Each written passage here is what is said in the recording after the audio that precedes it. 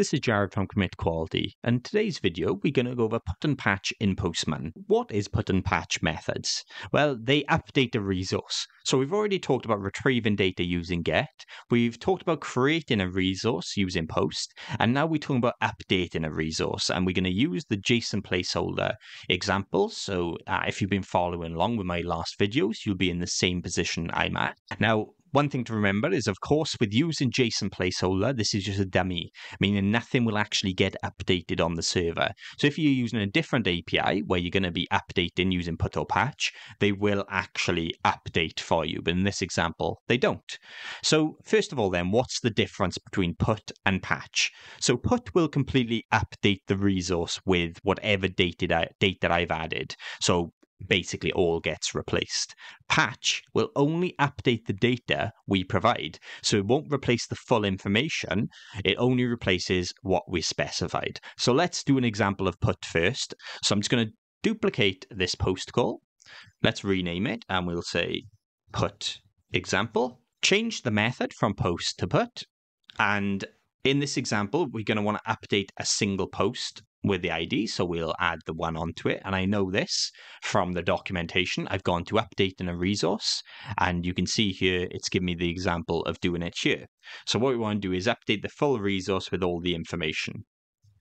So let's go to the body and delete what we had from the post request. And I've already got a pre-configured updated object. So here we go. We've got title of commit quality, body of subscribe, user ID of one, and ID of one. Now all I have to do is hit send. And this is updated. Of course, it's fake, so it hasn't actually updated on the server. But the response has generated how we have updated everything. So it's shown us what it would look like. And when we're talking about the difference between put and patch, if I remove body here and hit send, what you're seeing is body just hasn't been returned. But now let's do the same example, but with the patch method. Let's duplicate this and we'll rename it to patch example. Exactly the same. Oh, let's save this so it changes to put. Exactly the same here. Let's say patch. But in this example, the body is going to be removed again.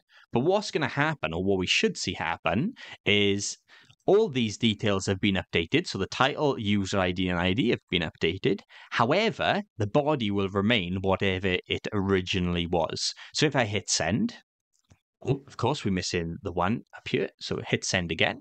And what we should see now is user ID, ID of one, both matching, commit quality is the title.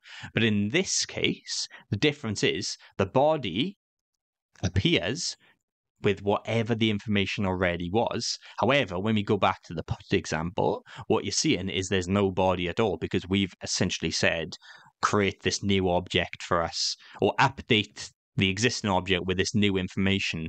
And if I don't include something, a take it as I actually don't want to include it in the response. Hmm. And that's ex- it, that's exactly how it all works. So in a real API that's connected to a server, I could have updated using either of these examples.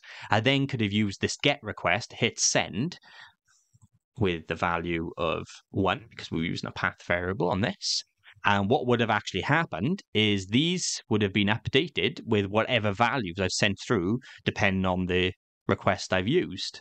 So we'd expect, for example, title to be commit quality. Like I said, this is all fake and mocked, so it's just returning these kind of fake responses. But in a real world scenario, this is how you'd start chaining things together. So how you can create a resource, update a resource, and then get it and retrieve that information. As always, if you do have any questions, please drop a comment below. A like and subscribe is appreciated. Thank you for watching.